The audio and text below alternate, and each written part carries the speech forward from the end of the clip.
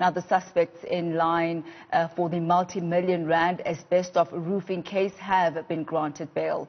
The Bloemfontein Magistrate Court ruled that the suspects hand over their passports and return to court in November. The bail of the four suspects had been set at 100,000 rand, with Edwin Sodi set to pay 500,000 rand. Newzroom Afrika's Tumaole Mohlaoli joins us live. Tumaole, I see behind you gathering individuals coming together to find out what the fate of those involved in this asbestos roofing scandal will be. We have just found out that they've been granted bail. What has been the reaction so far this afternoon?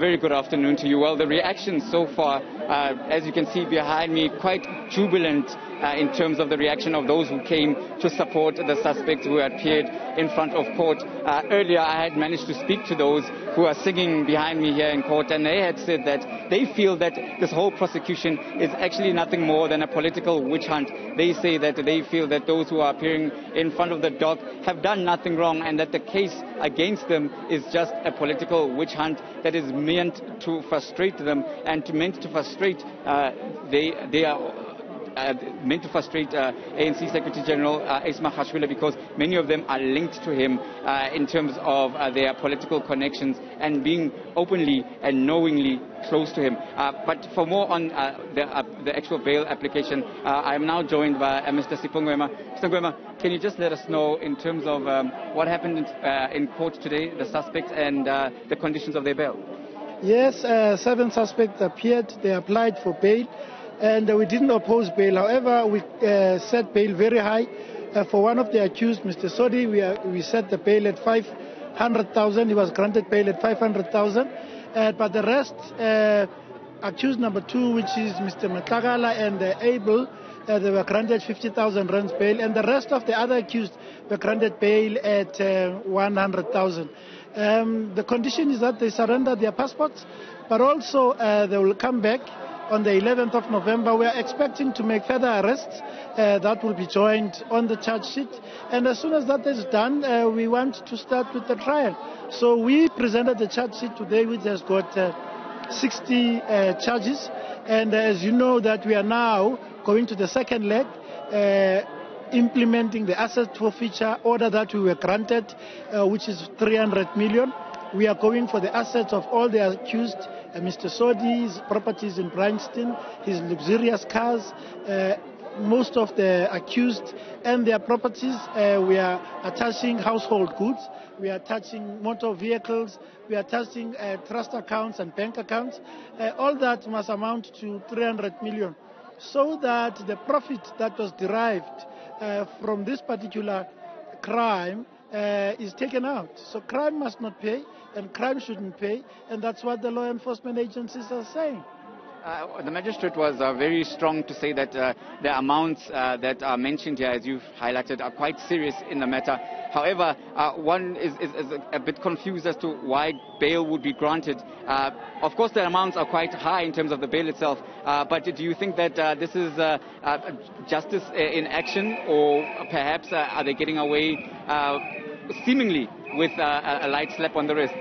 No, not at all. You must remember the purpose of bail is to secure the accused to come to the trial. It's not a punishment.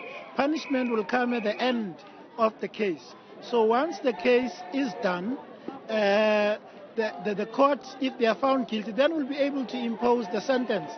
Bail for now is to make sure that on the 11th of November they are able to come. So, but the bail amount must show the seriousness. So the amounts ranging from 50,000 to 500,000 shows that seriousness, that this is serious. But I must repeat, bail is to secure the accused to come. It's not a punishment.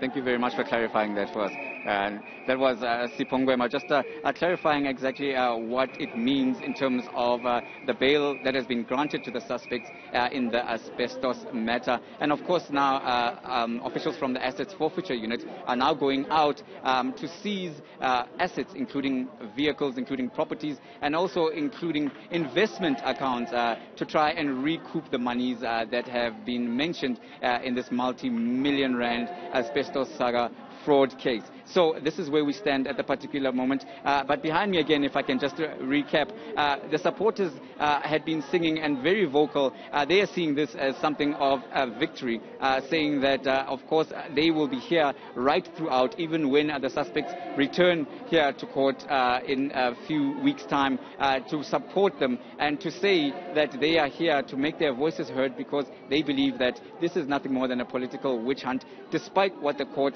has ruled and the amounts when it looks at the bail and the seriousness of the charges against the suspects. Now, one thing, Tumaole, is we were not able to uh, say who these uh, seven uh, suspects are. If you could just go through them and, and, give us the names. Now that they have appeared in court, we hear that uh, Mr. Sodi is definitely one of them.